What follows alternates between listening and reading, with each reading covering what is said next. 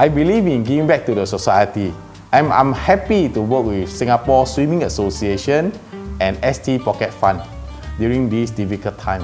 Hey everyone, Joseph Schooling here. So I just got out of the kitchen cooking some curry bombs, and please support the initiative with Neo Gardens, SSA, along with the ST Pocket Money Fund. There are a lot of curry bombs out there. You can order them at neogardens.com.sg. They taste delicious.